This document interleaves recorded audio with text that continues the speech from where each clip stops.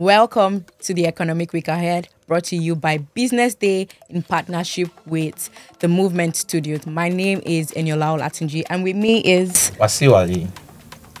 Okay, so Eniola, um, this week there are quite a number of um, interesting topics to be discussed. Yeah. So let's start off with Nigeria. Nigeria will be issuing its um, treasury bills this week.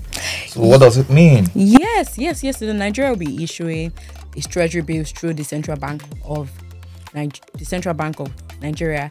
And normally the auction happens on Wednesday, but due to the public holiday, Tuesday and Wednesday, sources close to business they have told us that it would likely happen on Friday. At the last auction, the 364 day tenor had a whooping subscription of 2.4 trillion. And lot. yes, it shows that foreign investors are very interested in our securities. And um, on Thursday also, there is a maturity on um, a treasury bill from last year that the government is going to pay. So yeah, investors should be looking at to Friday to auction at the Nigerian treasury bills. Interesting. So also um, the U.S. Bureau of Statistics will be, um, you know, revealing its inflation figure this week. So what does it mean to, um, you know, what does what are we expected to look out for? Yes. Um, it's quite an interesting week, I must say, because um, the US inflation figures, which is also the consumer price index, is a measure of the price in, the price change of goods and services. At la- last month, February, the US inflation figure printed at 0.4% for, for the month and 3.2% for the year. That 3.2% was higher than 3.1% in January that the US figure was in January. And that is why the Federal Reserve held its rate at 5.25% to 5.5%. Um, so Forbes says that predicts that if the inflation rate comes out at 0.3% or less, the Fed is likely to still hold rates at what it currently is. But if it comes out at 0.4% or higher, then it might be looking to either hold the rate or but more more likely increase its um, interest rates so as to continue fighting inflation.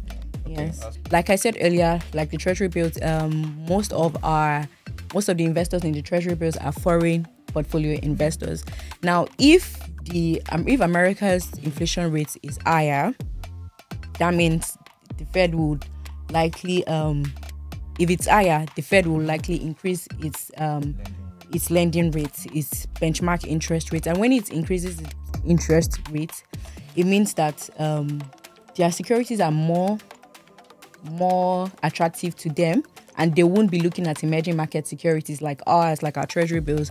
But if the in- inflation rate reduces then they will likely reduce um, their inflation their interest rates much later during the year. And once they in- reduce their inflation rates later during the year they'll be interested in our securities like our treasury bills our bonds and all of that so let's let's hope let's actually hope that Let's hope the that- figures reduce yeah so um Wasiu, this is a very interesting week for oil reports Yeah. the OPEC will be releasing the monthly figures, the monthly oil reports. What do you think that March data is going to print at? Well, um, I, I think the oil production report will see, um, of course, according to many analysts, they, they, they feel that the um, the month this month's report will be higher to jump up on the back of um, uh, a lower reduction in oil theft, and so um, of course the the um, NNPC CEO Mele Kyari has also said that about 6,409 illegal refineries have been deactivated. So, so all of these are, you know, an, in an effort to ensure that all theft cases are reduced, which of course will see the oil production improve yeah, marginally. Oh, that would be fantastic news. Also, on that same day, on um, Thursday, the Nigeria Bureau of Statistics will also be releasing the full year report, oil production report for 2023. What do we should we expect from that that report? Well, um, we should expect a breakdown of the the, the oil production throughout the year. But For last quarter in 2023, Nigeria produced um, about 1.5 million million yeah, per barrel. Um, Nigeria produced 1.5 million barrel per day, right? So I would expect that um, there's a further breakdown of how this uh, unfolds. Oh, that's fantastic. I everyone should look out for that data. On Thursday, also, the US will be releasing, would be auctioning its 30 year bond. At the last auction, the yields on the auction were about 4 point reduced from 4.36% to 4.33%. So we expect that this Thursday, the yields on this auction should remain about at the same levels, very close to 4.33%. And that brings me to the naira. Yeah. The the. Uh, yeah, everyone is happy that the naira is currently Yeah. Is currently at a thousand two hundred. Yeah, thousand two hundred fifty-one naira. And and and coincidentally, um, the both at the official window and the parallel market, the naira is almost uh, at the same par. Wow. So the gap between the parallel market and the official market Yeah. is very close. And this is wonderful. This has been driven by Cardoso's reforms.